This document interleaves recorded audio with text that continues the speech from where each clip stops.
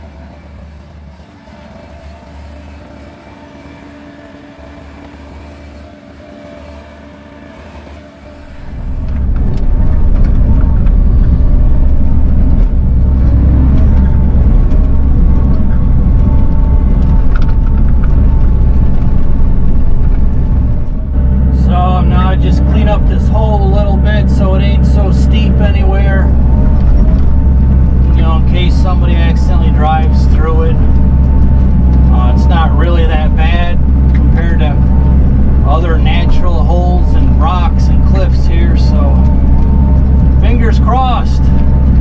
I got it pretty compacted over there. We'll see if she holds. I'll fill it up probably tomorrow, so stay tuned. All right, I just opened up the water. I got her wide open, full blast from the pond. I just need to double check that my digging didn't cause the water to go around the pond by chance. Hopefully not. My digging and reshaping. I mean, I paid attention to this. So, we'll see here in a sec. Look at that. It's just now, I'm right at the head of the water. That was a pretty good speedy walk. Well, we're going to find out right now. There she comes.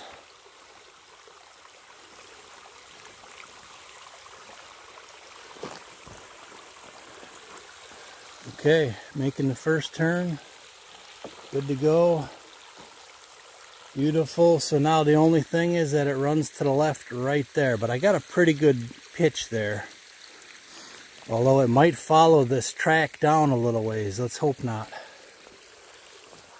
Matter of fact, we're going to help it a little right here. Just to be safe. Because it's going to be running pretty fast once it gets here, like right there. Okay, take a hard turn right. Yeah, I knew it's coming down the track a little bit. I'm going to have to beef this thing up. That's why I wear steel toe shoes. I think I got it.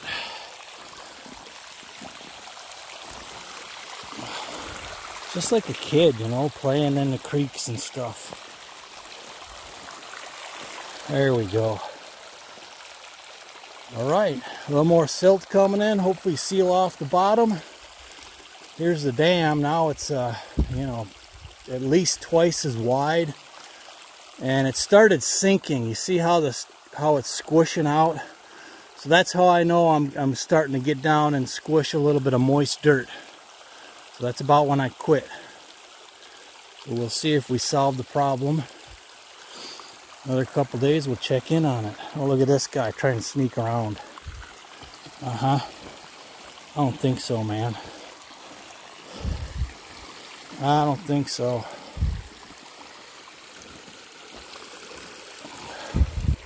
All water must go to the watering hole.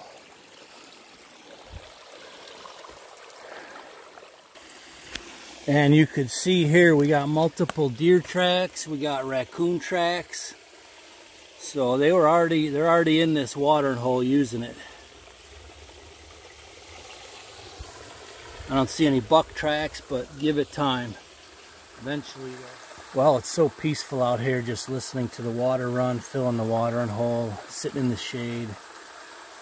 I'm promising myself I'm going to do some deer hunting this fall and take in a little more enjoyment. So let's check how the water filling process is going. I think it's been running about 20 minutes or so. Good to see it filling back up.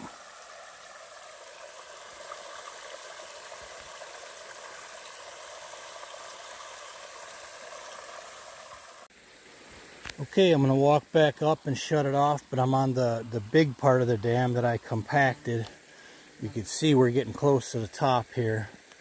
But I got a marker stick uh, right there.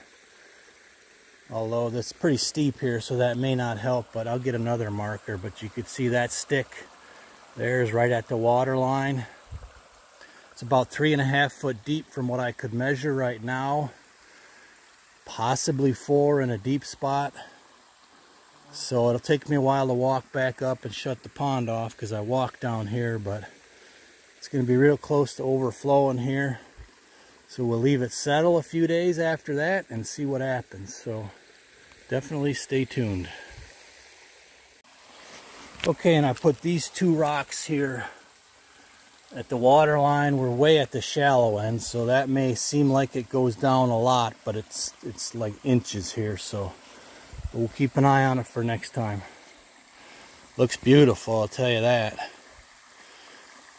I'm hoping this might do it, seal it off.